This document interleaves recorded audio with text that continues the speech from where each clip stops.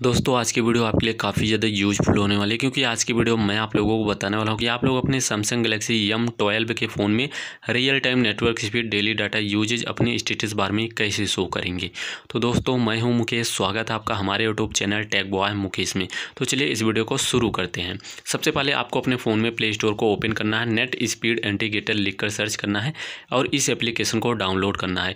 Download करने के लिए मैं इसलिए कह रहा हूँ क्योंकि आपके फ़ोन की सेटिंग में ये फीचर नहीं दिया हुआ है, इसलिए इस एप्लीकेशन को डाउनलोड करना पड़ेगा। यहाँ आप देख सकते हैं पाँच मिलियन से ज़्यादा लोग डाउनलोड कर चुके हैं। आप भी डाउनलोड कर लीजिए और इसको ओपन करिए। जैसे इस एप्लीकेशन को आप लोग ओपन करेंगे, सबसे पहला ऑप्शन ऑटोमेटिक ऑन हो जाता है। अगर आपके फ़ोन में ऑन नहीं होता तो इसको पहले ऑन कर लीजिएगा और यहाँ पर आप लोग ऑन करते ही देख पाएँगे अपने स्टेटस बार को स्लाइड करके आपके फ़ोन में इंटरनेट स्पीड क्या आ रही है। यहाँ पर आप लोग देख सकते हैं। लेकिन डेली डाटा यूजेज नहीं दिखाई दे रहा है तो हमको डेली डाटा यूजेज भी शो करना है। उसके लिए हमको यहाँ पे नीचे आना होगा। यहाँ पे देख सकते हैं डेली डाटा यूजेज का ऑप्शन दिया हुआ है।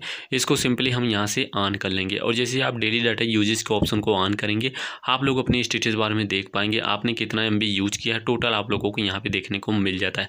आगे जितना एमबी आप यूज़ करते जाएँगे ऑटोमेटिक यहाँ पर दिखाता जाएगा।